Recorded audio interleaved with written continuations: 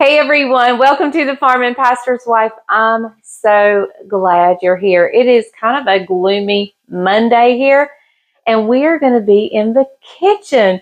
We're actually going to be making something that uh, has to do with my Charleston trip. So, um, we before we went to Charleston, I did a little research on the Gullah Geechee culture and so forth. And I wanted to visit like a just a solid, just only Gullah Geechee restaurant. That didn't happen. I didn't get to do that. Um, so I thought, well, let's do some research. I happen to know of a chef who's on television who is from the Gullah Geechee culture heritage. And um, so I went and looked up some stuff on her site and found this recipe. I'm going to have to adapt it a little bit just because I don't have everything I need but it's going to be very close and it's going to be delicious. So I'm going to get the broth started because we're going to doctor up a little bit of a broth. And once we do that, I'll come back and I'll share with you a little bit of the history and the knowledge that I got while we were in Charleston on the Gullah Geechee um, culture. Trying to see if my green light's on. Yeah, it is. So, okay, let's get started on putting this, um, just the broth. We have a lot more to do with the stew. It is, it is like a shrimp stew. And um, rice was really big in the Gullah culture, so we will serve it on rice, much like a gumbo or something like that. So, all right, let's um, get you turned down here. All right. And um, like I said, I don't have everything needed for this. If I had shrimp with the peel on and the tails on, we would just save the shrimp and make a seafood stock. Um, but the shrimp I was able to buy was already peeled, deveined, tail off. It was, you know, kind of done for me. Um, and I did not see any any different types. So we're just going to make a slightly chicken broth. We're going to put a little bit of bouillon granules in there. Not a lot, just a little bit. And then we're going to doctor it up with a few things. I had some celery that's getting a little bit flimsy.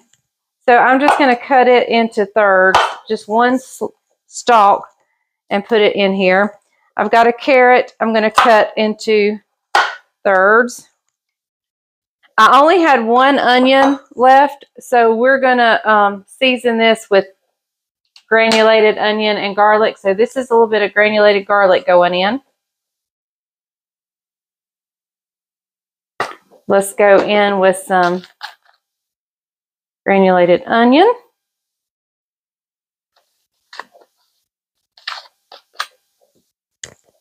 Let's put a bay leaf in. And I'll stir those clumps of chicken granules out. And I'm out of salt there. Let's get some pepper.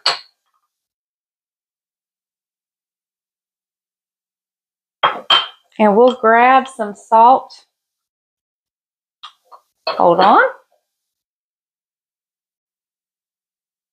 Okay, we're going to salt it pretty good. Remember that chicken bouillon has some salt in it already.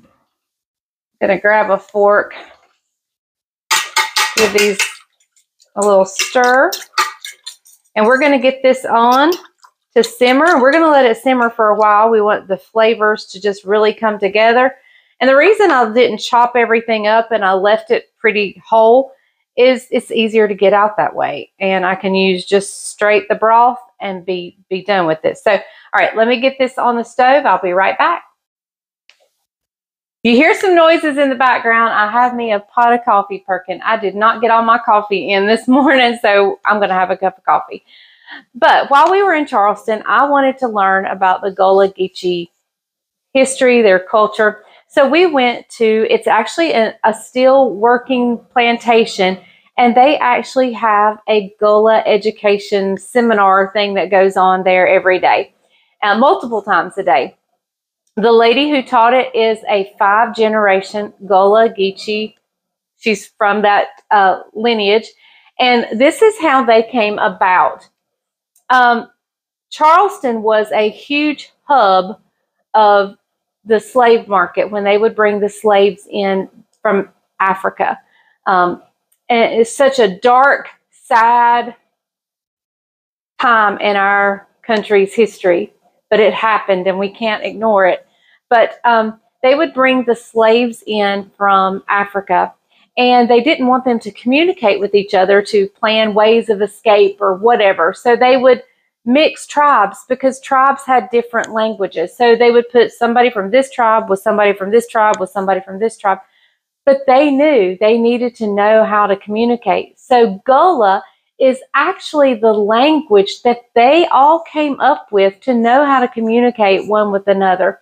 And so it became the Gullah language, and Geechee became the um, kind of the culture around it. Um, they they were the ones who knew how to work in the rice fields. They understood how to grow rice, and they put Charleston on the market basically with rice. And um, so it was it was so enlightening. And if you think you've never heard the Gullah language, or if you think you've never heard anything like that, if you remember back as a little child and hearing the song, Kumbaya, my Lord, Kumbaya, Kumbaya, my Lord, Kumbaya. Kumbaya is actually from the Gullah language. And I, I, was so amazed when I heard that. I was just, um, that was so neat to me to know that, hey, I've heard the Gullah language before and didn't realize it. Um, so this is, they had their own food style. They had um, a lot of their food requires rice. Our dish will have rice. It'll be served over rice. And um, a lot of okra, a lot of sweet potatoes. Now this does not have sweet potatoes or yams in it, but um, so we we're gonna we a lot of onions. So we're gonna make this soup, and it's gonna be delicious.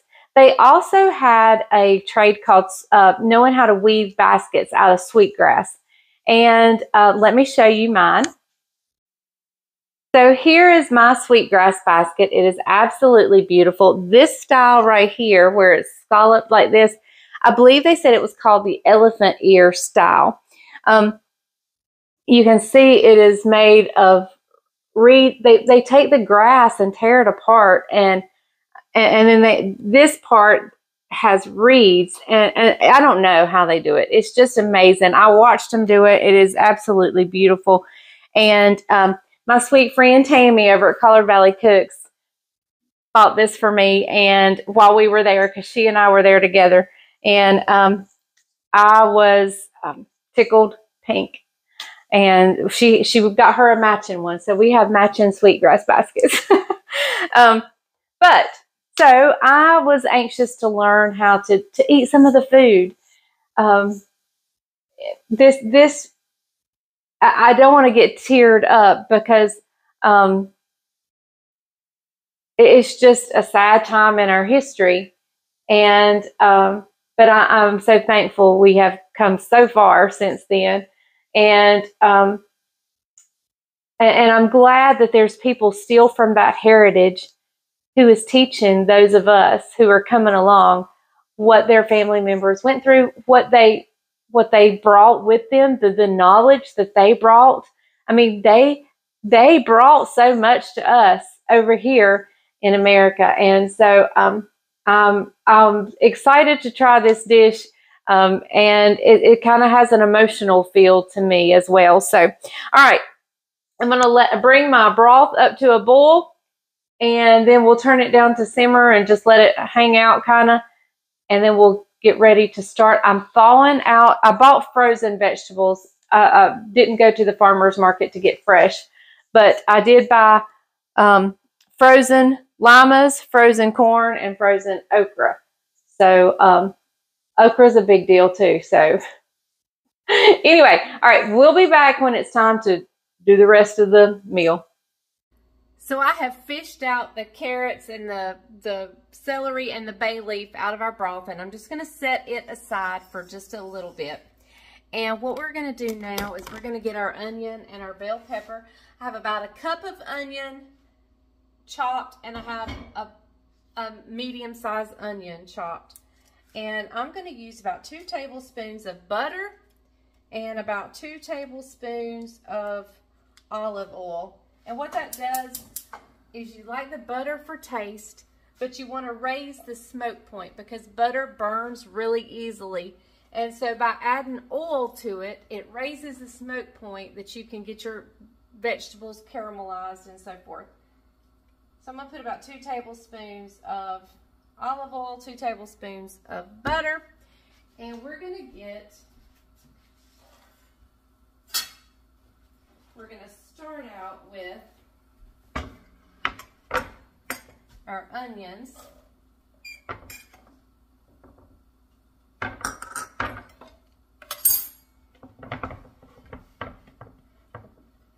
trying to do this without dropping it. And our bell pepper, we're going to get those sauteing up first thing. And in just a little bit, we'll add in one of my frozen garlic pucks. All that is is just minced up garlic, took a cookie sheet, put, I mean, took a cookie scoop, put them on a, a cookie sheet and froze them and then put them in bags and they come out as a, but we don't want that to burn. So we're gonna wait a little bit before we put that in. We're gonna give it a stir.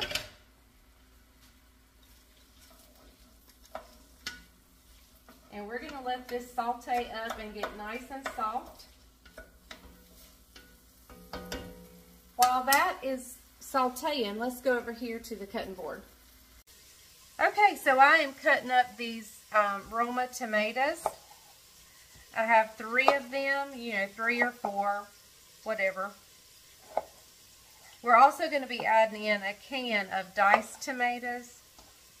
And these don't have to be done in a pretty fashion because they're going to cook. So you just want to get them chopped pretty good but don't worry about them being pretty. It's not like going on a taco bar or anything. We're actually going to cook these down.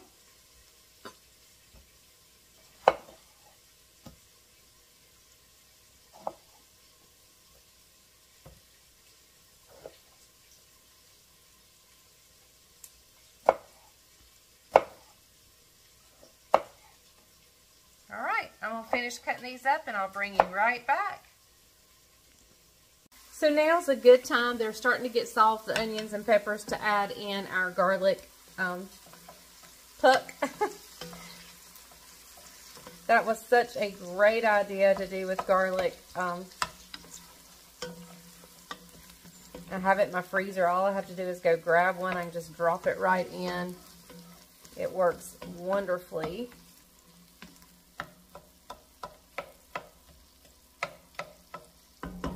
we're going to let that cook just a minute and I'll be right back. Okay, so here we're going to add in, uh, these are frozen vegetables, but I have thawed them. So we're going to add in our corn.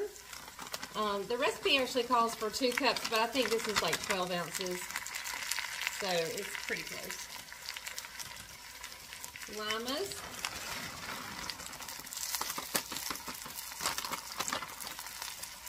We're going to add in our Roma tomatoes here.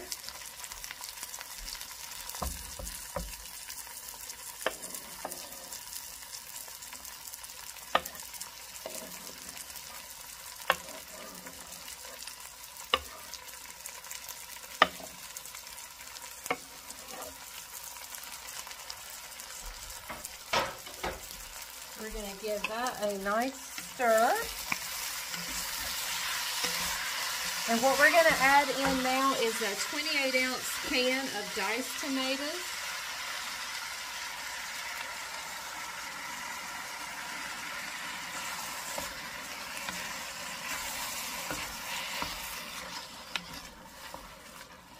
We're going to add in our broth that we made. This was about four cups. The recipe, I believe, calls for three cups. Now remember, I will try to leave the link down below to the actual recipe where this came from. I am deviating from it just based on what I have and so forth. So you can either go by mine or go by the recipe, either one. They're going to be delicious. Either one. All right, so we are gonna let this cook. I'm gonna add a little salt and pepper.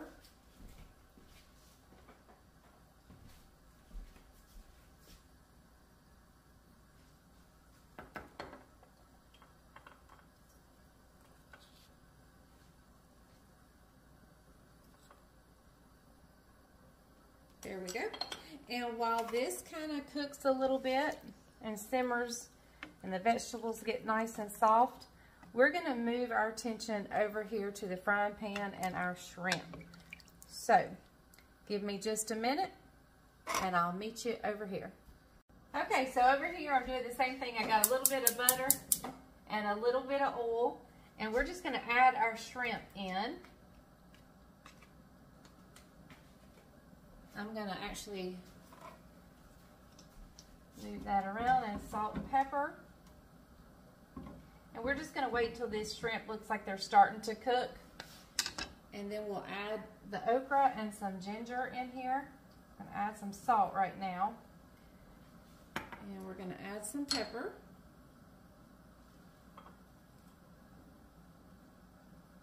Trying to get some in my fingers here.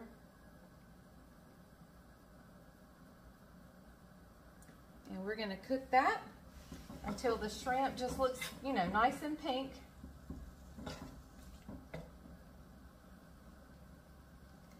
Found a shell. Always look your shrimp really good. Especially if you're buying like deveined, peeled and deveined. Because they sometimes leave shells on there. Unintentionally, of course, it just happens.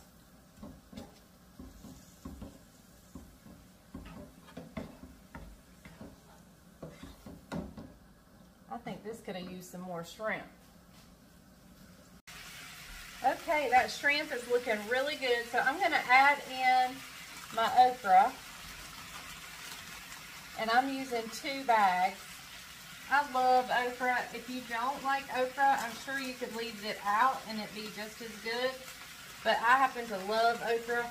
I love vegetable soup with okra in it. Oh my goodness. Love it. Love it so much. Something black. We're going to take that out. Alright. Now we're going to stir this around. I'm going to season one more time with salt and pepper. You always kind of layer your seasoning. You know, do it in, if, if at all possible.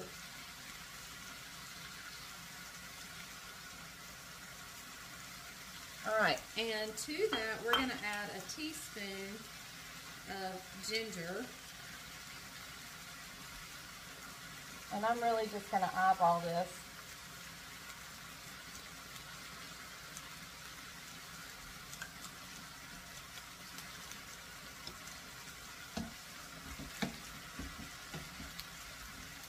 Yes, you're going to see some slime because okra gets slimy when it cooks.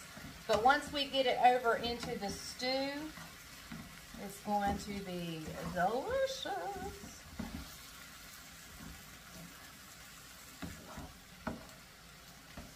All right, so we're going to let that cook and we're going to add in one more thing.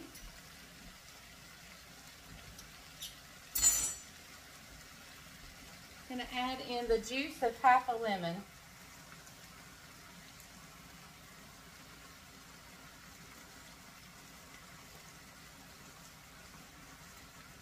Just to give it a brightness. Okay, we're going to stir this again. Now, if, if you don't want to see this sliminess, you could probably could just put it directly into the stew. In fact, I'm really not sure why we're not, but I'm going by the recipe and it said to cook it with the shrimp separate, so we shall see. All right, let's check our stew here.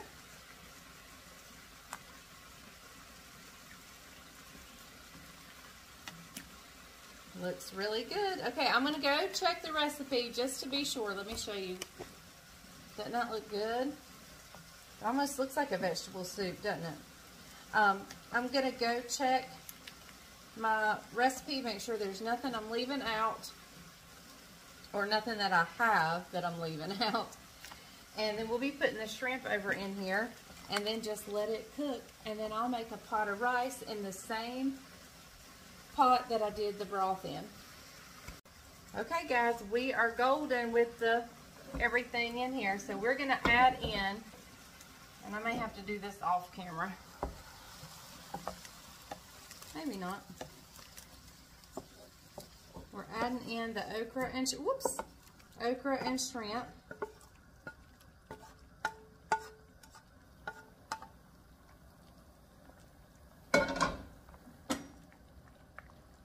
We're going to throw our overboard pieces in.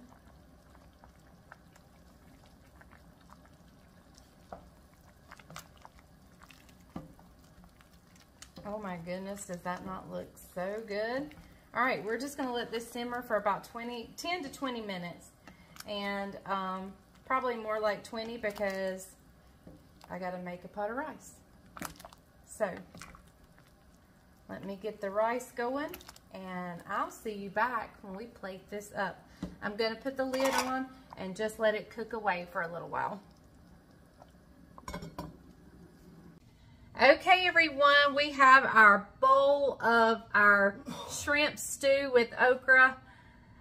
And remember, we have never made this before, so I'm going to share with you my true and honest opinion. So keep in mind, this is my opinion.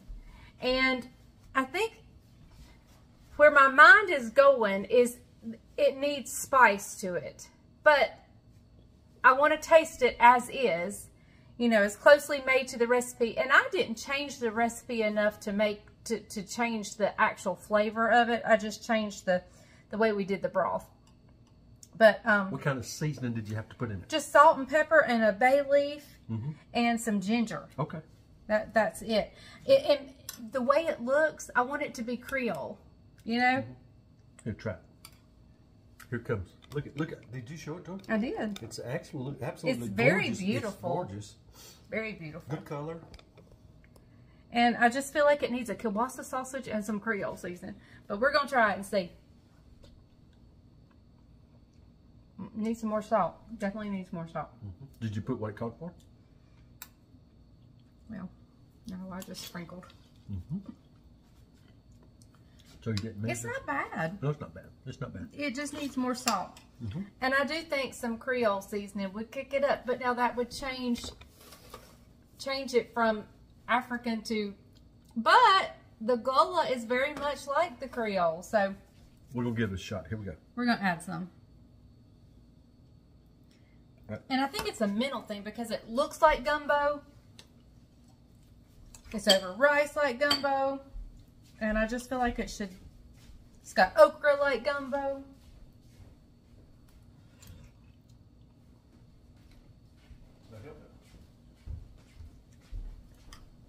Here we go. And a little bit that, of salt. That helped it in my book. All right. Let's give it a whirl, okay? You tell me what you think.